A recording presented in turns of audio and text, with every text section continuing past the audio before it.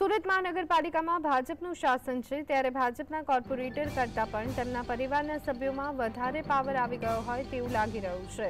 પાંડેસરાના બમરોલી વિસ્તારમાં ભાજપના મહિલા કોર્પોરેટર ગીતા રબારી છે.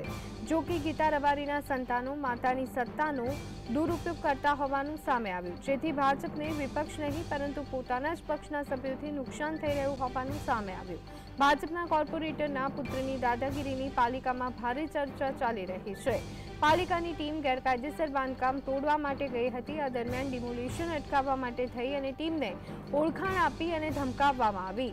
બમરોલીના કોર્પોરેટર ગીતા રબારીના પુત્ર મયુર રબારીએ દાદાગીરી કરી હતી. દબાણ તોડવા ગયેલી મનપાની ટીમને ભ્રષ્ટાચારના કેસમાં નાખી દેવાની ધમકી આપવામાં આવી. તો સાથે જાનથી મારી નાખવાની પણ ધમકી આપવામાં આવી હતી.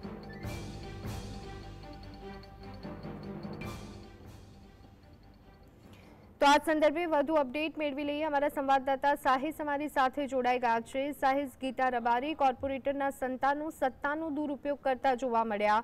અહીંયા મનપાના અધિકારીઓને ધમકી આપવામાં આવી. શું વિગતો?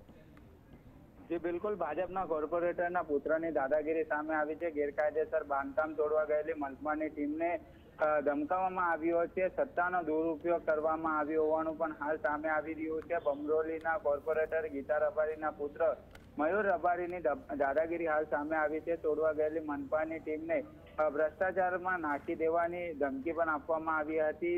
સાથે જ જાનથી મારી નાખવાની ધમકી આપવામાં આવી હતી. ધમકીને લઈને મનપાની ટીમે પાંડેસરા પોલીસ મથકમાં મેહુલ વિરુદ્ધ લેખિતમાં અરજી આપી કાયદેસર કાર્યવાહી કરવાની માંગ કરવામાં આવી રહી છે. પરંતુ તેમના જે માતા જે છે તે ગીતા રબારી તેમના ભાજપનો સત્તાનો દુરુપયોગ કરતો હોય પુત્ર એવું દેખાઈ રહ્યું છે.